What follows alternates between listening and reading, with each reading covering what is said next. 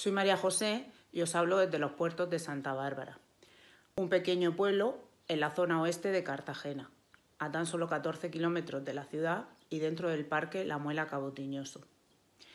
Me dicen que os recomiende un lugar para pasear. Sin lugar a duda, os recomiendo nuestro pequeño recorrido de Santa Bárbara, nuestro pequeño sendero.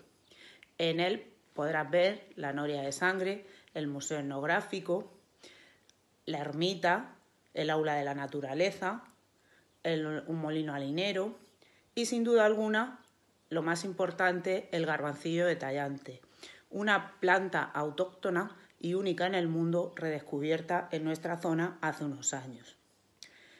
Un lugar para muy tranquilo para pasear es la Rambla del Cañar.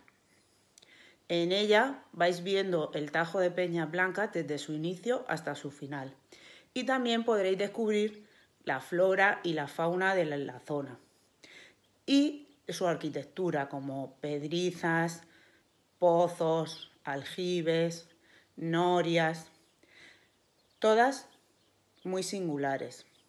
Y un sitio, un paisaje muy bonito es la zona de la muela, desde donde podréis admirar un paisaje sin igual, toda la costa de Cartagena y además todo el interior.